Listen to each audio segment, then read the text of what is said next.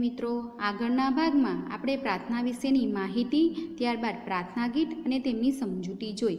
હવે આપણે આગળ અભ્યાસ કરીશું. અભ્યાસનો પહેલો પ્રશ્ન છે, નીચેના પ્રશ્નોના ઉત્તર માટે આપેલા વિકલ્પોમાંથી સાચો ઉત્તર શોધીને તેનો ક્રમ અક્ષર પ્રશ્ન સામેના ચોરસમાં લખો. પ્રશ્ન આપેલા છે અને સામે ચોરસ ખાનું આપ્યું છે, તેમાં આપણે જવાબ લખવાનો રહેશે. પહેલો પ્રશ્ન છે, આ કાવ્ય કોને સંબોધીને લખાયું છે? તો ક, ધરતીને, ખ હિન્દને ગ હિન્દ માતાને, ઘ, સૌ સંતાનોને. તો વિદ્યાર્થી મિત્રો, આ કાવ્ય કોને સંબોધીને લખાયું છે? તો ગ હિન્દ માતાને. આગળનો પ્રશ્ન બીજો, કવિ હિન્દને કોની ભૂમિ તરીકે ઓળખાવે છે? તો ક, વેદોની, ખ, કૃષ્ણની, ગ, દેવોની, ઘ, પુણ્યની. તો વિદ્યાર્થી મિત્રો, કવિ હિન્દને કોની ભૂમિ તરીકે ઓળખાવે છે? તો ગ દેવોની. આગળનો પ્રશ્ન નંબર બે. નીચેના પ્રશ્નોના ઉત્તર એક એક વાક્યમાં આપો.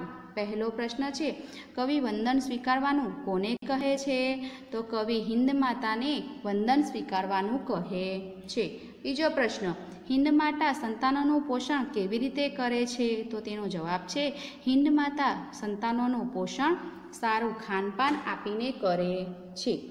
ત્રીજો પ્રશ્ન, હિન્દ માતાને સંબોધન કાવ્યમાં કયો ભાવ રજૂ થયો છે? તો ભારત માતાના સંતાનો પરસ્પર પ્રેમ અને સહકારથી રહે તેવો ભાવ કાવ્યમાં રજૂ થાય છે. આગળનું સ્વાધ્યાય. સ્વાધ્યાયનો પહેલો પ્રશ્ન છે, નીચેના પ્રશ્નોના ઉત્તર લખો. પહેલો પ્રશ્ન, ભારતમાં કયા કયા ધર્મો પાળતી પ્રજા વસે છે? તો વિદ્યાર્થી મિત્રો, આપણે જાણીએ જ છીએ કે ભારતમાં અલગ અલગ ધર્મો પાળતી પ્રજા વસે છે. તો ભારતમાં હિન્દુ, મુસ્લિમ, ખ્રિસ્તી, પારસી, જૈન અને બૌદ્ધ ધર્મો પાળતી પ્રજા રહે છે. ભારતમાં દરેક ધર્મને સરખા ગણી, દરેક ધર્મના ધર્મસ્થાનો અને ધર્મ ગ્રંથોનો આદર કરવામાં આવે છે.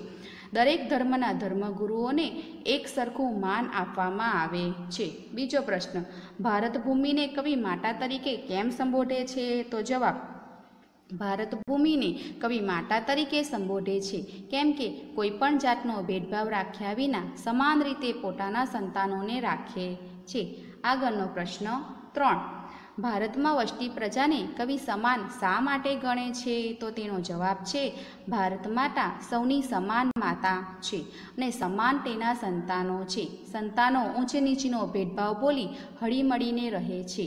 સૌની પોષક હિન્દ માતા એક જ હોવાથી સૌને સમાન કહ્યા છે. ચોથો પ્રશ્ન, ભારત માતાના સંતાનો છેલ્લે સી પ્રાર્થના કરે છે? તો ભારત માતાના સંતાનો પ્રેમથી એકબીજાને હળીમળીને રહી અને એકબીજાને મદદ માટેની છેલ્લી પ્રાર્થના કરે છે. પ્રશ્ન નંબર પાંચ, પ્રાર્થના વિશે છ સાત વાક્યો લખો. પ્રાર્થના એ આત્માનો ખોરાક છે. મનુષ્ય ઈશ્વર સાથે જોડતી સોનેરી કડી છે. એટલે પ્રાર્થના, પ્રાર્થનાથી તન, તંદુરસ્ત અને શાંત રહે છે. હૃદયથી કરેલી પ્રાર્થના ઈશ્વર સુધી પહોંચે છે. પ્રાર્થના ઈશ્વર પાસે પહોંચતી પાંખ છે. પ્રાર્થના આત્મા આત્માની અનંત શક્તિઓને જગાડનાર દેવી બળ છે. બીજો પ્રશ્ન છે, માગ્યા મુજબ વિગત લખો. તો આપણને એક કોષ્ટક આપ્યું છે અને તેમાં ધર્મનું નામ, ધર્મગુરુ, ધર્મગ્રંથ, ધર્મસ્થાન ધર્મ પ્રતીક અને મુખ્ય તહેવારો લખવાના છે. તો હવે આપણે પહેલું જોઈશું હિન્દુ. તો હિન્દુ, હિન્દુના ધર્મગુરુ છે આદિ શંકરાચાર્ય તેમનો ધર્મગ્રંથ છે ભગવદ્ ગીતા. તેમનું ધર્મસ્થાન મંદિર.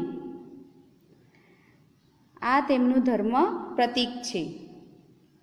અને તેમના મુખ્ય તહેવારો દિવાળી, હોળી અને જન્માષ્ટમી છે. તેવી રીતે આપણે આગળ જોઈશું મુસ્લિમ. તો મુસ્લિમમાં તેમના ધર્મગુરુ મોહમ્મદ પેગંબર છે. એમનો ગ્રંથ છે કુરાની શરીફ. એમનું ધર્મસ્થાન છે મસ્જિદ. આ એમનું ધર્મ પ્રતીકનું ચિહ્ન છે. તેમના મુખ્ય તહેવારો મોહરમ અને બકરી ઈદ છે. આગળ શીખ શીખ ધર્મ.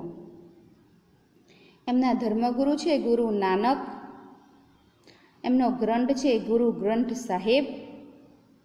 એમનું સ્થાન છે ગુરુદ્વારા આ તેમનું પ્રતીક છે. તેમના મુખ્ય તહેવાર છે ગુરુ પર્વ અને નાનક જયંતિ.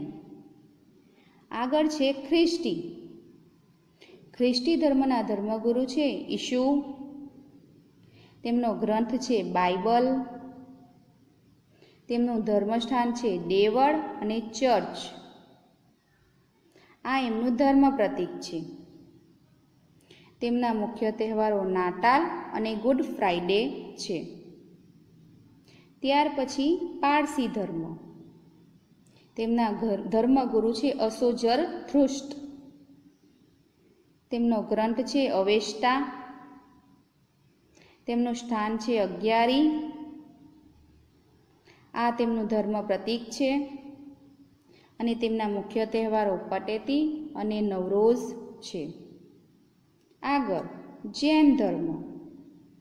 તેમના ધર્મગુરુ છે ચોવીસ તીર્થ મહાદ્વાર. તેમનો ગ્રંથ છે આગમ. સ્થાન છે દેરાસર. આ તેમનું પ્રતીક છે. તેમના મુખ્ય તહેવારો પ્રયુષણ, મહાવીર, જયંતિ છે. આગળ છે બૌદ્ધ ધર્મ. તેમના ધર્મગુરુ છે બુદ્ધ. એમનો ગ્રંથ છે ત્રિપિતક. એમનું સ્થાન છે વિહાર.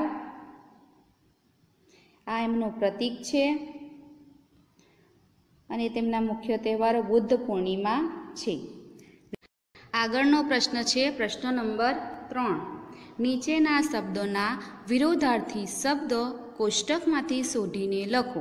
તમને અહીં વિરોધી શબ્દ આપેલા છે, એના જવાબ આપણે કોષ્ટકમાંથી શોધીને લખવાના છે. તો પહેલું છે જ્ઞાની. જ્ઞાનીનું થાય છે અજ્ઞાની. તો આપણે કોષ્ટકમાં શોધવાનું છે, અજ્ઞાની ક્યાં આપ્યું છે? તો આ રહ્યું અજ્ઞાની. બીજું, નિરોગી. નિરોગીનું વિરોધી શબ્દ આવે, રોગી. તો આપણે કોષ્ટકમાં શોધવાનું છે કે રોગી ક્યાં છે? આ રહ્યું રોગી. ત્યારબાદ તવંગર. તવંગર એટલે કે ગરીબ. કોષ્ટકમાં શોધો, ક્યાં છે ગરીબ? તો આ રહ્યું ગરીબ.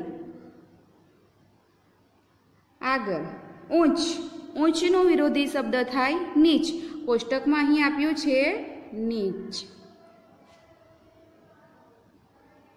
આગળનો શબ્દ છે સમાન. સમાનનું થાય અસમાન. આ રહ્યું અસમાન. આગળ સાક્ષર. સાક્ષરનું થાય નિરક્ષર. આ રહ્યું નિરક્ષર. આગળનો પ્રશ્ન છે પ્રશ્ન નંબર ચાર. કાવ્ય પંક્તિઓ પૂર્ણ કરો. પહેલી કાવ્ય પંક્તિ છે, પોષો તમે. તો આપણે આ કાવ્ય પંક્તિને પૂર્ણ કરવાની છે.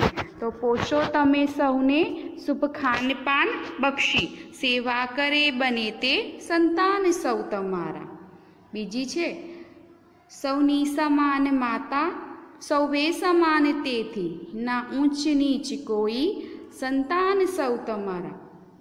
વિદ્યાર્થી મિત્રો અહીં આપણો સ્વાધ્યાય પૂર્ણ થાય છે અષ્ટુ.